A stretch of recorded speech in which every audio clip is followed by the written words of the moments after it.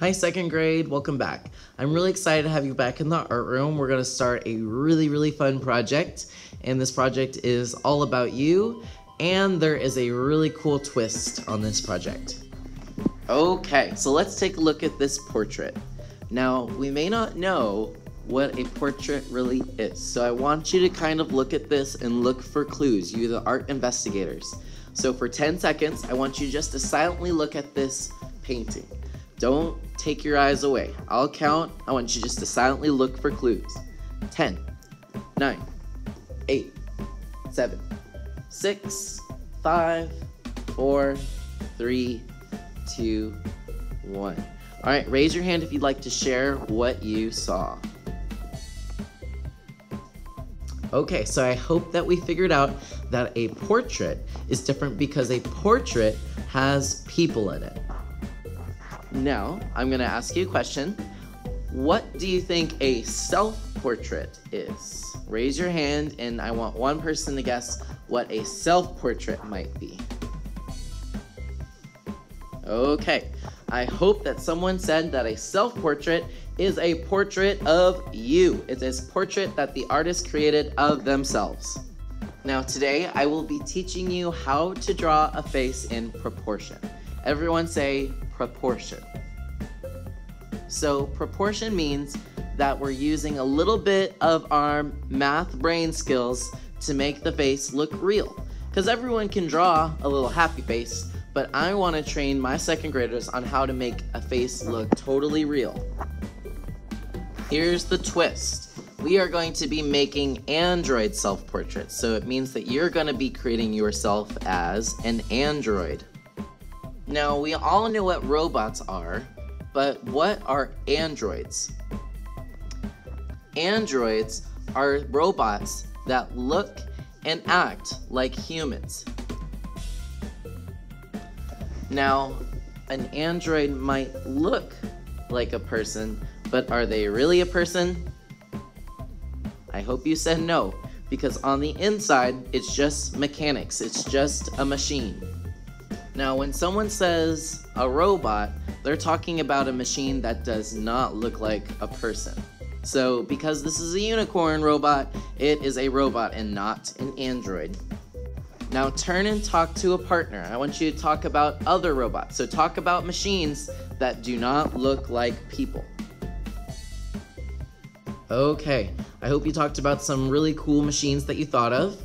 Um, so think traffic lights or a calculator or a computer. Those are all different types of robots that do not look like a person.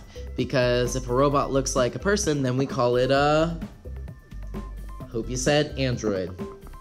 So today I will be teaching you how to draw an android, or I'm sorry, I'm going to show you how to draw a face today, and then next time we'll work on our androids.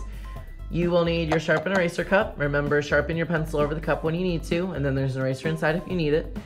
You'll need a pencil, and then you need a piece of paper. I'm gonna go ahead and give y'all about one minute to sharpen your pencils over the cup, and just give me a thumbs up if you're ready, and I will know that I am ready to move on. Now, people have all sorts of different types of faces. Some people have a rounder face, some people have an oval, most people have an oval. You may have an oblong shape, you might have more of a square kind of shape, and you might have a triangular kind of face. Now it isn't a real square or a real triangle, it's more of a rounded shape. Um, most people tend to have an oval. So what I want you to do with your sharpened pencil, I'm gonna wait for this to focus, is I want you to draw yourself a big old oval. Sorry, draw yourself a big old oval. I like to make my oval a little bit more narrow at the bottom so it looks more like a chin your face, your oval or whatever shape of face you chose to do should be just about as big as your hand. That's how you know you did it as big as you did. If you need to start over, you can turn it over on the back, um, but go ahead and try to draw your face. Give me a thumbs up when you're ready. Okay, awesome. So now that we have our face, let's go ahead and write our names on the side that you're choosing to do, which whichever face you'd like better, the one on the front or the one on the back if you decided to do another one, I'm gonna write my name. And then I'm also going to write my class code. I will write the class code on the board now so that you know it. And then we will continue on when everyone has their name and class code right next door. Okay, thank you so much. So now it's time to start using proportion. Now this will sound a little bit weird. It's not gonna look like a face at first. It's gonna look kind of like a crazy madman face. What you're gonna do is you're going to draw a line all the way down like this, right through the middle. Give me a thumbs up when you're ready. So we split our face into two different parts. What do we call that in fractions? I hope you said halves. So now it's time to split our face into fourths. You're gonna find about the middle of this line right here on the left. So I'm gonna go ahead and put myself a little dot to help remind me and find about the middle right over here. We're gonna draw a straight line across. So this is gonna turn from a vertical line into a horizontal line crossing over a vertical line, which makes kind of like a plus sign. So go ahead and do what kind of looks like a plus sign with your face, and then give me a thumbs up when you're ready. Awesome, guys. So now this will be a little bit tricky. We have these two lines right here. So I have this line, stop, and then this line, stop. In the middle of those lines, I just want you to do a little dash that goes up. So a little vertical line that goes up. This is where the eyes are gonna go. And I know that seems a little weird because we have all this head up here and we always think of our eyes a little bit higher, but at the very end, this will all look right, I promise. So I'm gonna go ahead and do two ovals on their side, just like this, around those dashed marks. Now, let me ask you a question. Do people have crosses in their eyes? I hope you said no, because if I ever saw that, I'd probably be pretty scared. I want you to take your eraser and just erase whatever's inside that oval. We don't need it right now.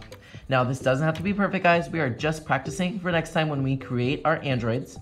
Um, but for right now, I need you to erase what's inside the eye because we're gonna put stuff there later. Thumbs up when you're ready. Awesome.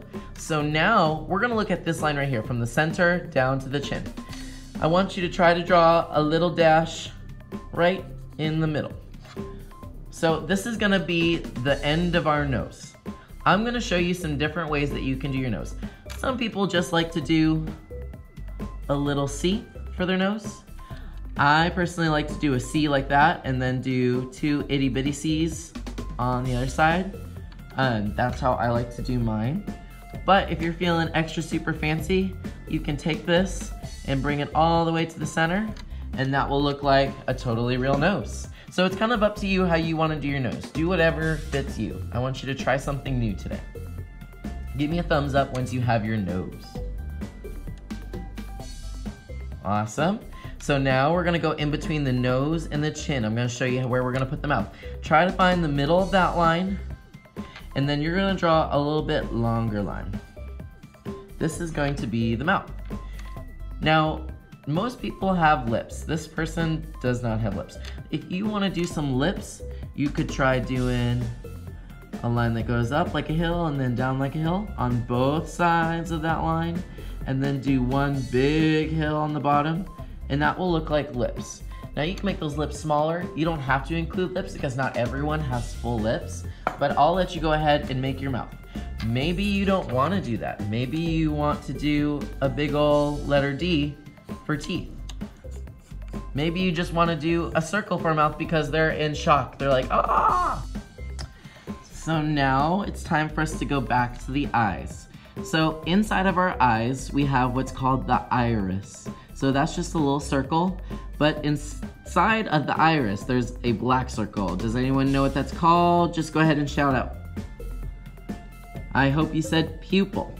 So if you want to go ahead and draw your pupil in there, and that will look like your eye. So I'm gonna go ahead and do the same thing on the other eye. I'll do a little circle, and then a pupil inside. There, so go ahead and give me a thumbs up once you have your eyes.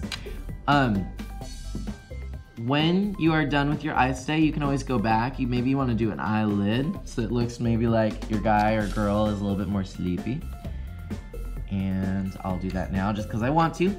Now, there's something that goes over the eyes. What do we call that? It's made of hair. I hope you said eyebrows.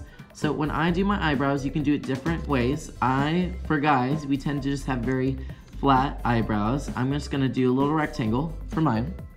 But let's say you have more of a curved brow. Maybe you wanna do more of like a curved shape. Kind of up to you. Maybe go ahead and take a look at a friend or the partner at your table. Ask a friend, is my eyebrow more straight or is it more curved? go ahead and ask a friend. Thumbs up when you're done. Awesome job, guys. We are almost done. Now, this person can see, they can smell, they can taste, but they need something to hear. What do we call those? I hope you said ears. So for me, the easiest way to do ears is just do a little C on the sides of the eyes, on the side of the face, and that will look enough like ears. Now, it's time to do the hair. But let me ask you a question. Have you ever seen someone walking down the street the street and they have a big old cross on their face like this? I hope you said no. It's time for us to erase that. So you can go ahead and erase those lines that we don't need anymore. These lines just help us build our face, but we don't need them anymore. So I'm gonna go ahead and erase the ones I don't need. Now you don't need to erase everything. You are just erasing what you can't, What you don't want. And then, all right, get that out of the way. Get that junk off. Now, if you are a boy and you wanna do boy hair, you can. Or if you're a boy, you wanna do a girl, that's okay. Or if you're a girl and you wanna do a boy face, that's fine. Um, if I'm doing short hair, like guys tend to have, I might just draw some lines for my hair right above the eyebrow.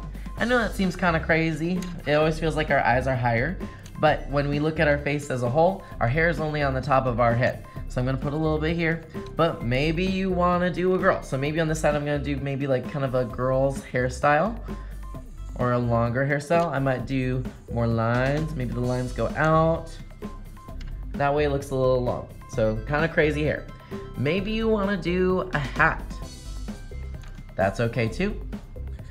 Once you have all that figured out, uh, you need something. Do you ever see faces floating in the sky?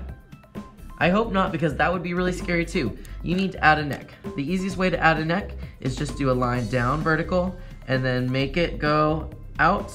So let me hold my camera. We need to go out to the sides of the paper and that will look like what?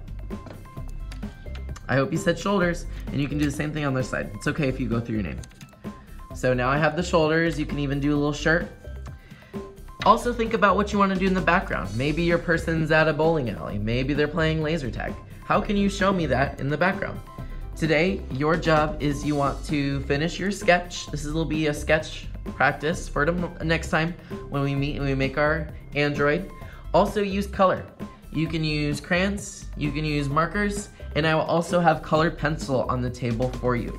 This will be a lot of fun, and I think that you will really have a good time and learn a lot during this project. So I'm excited to see what these look like. You guys have a great day.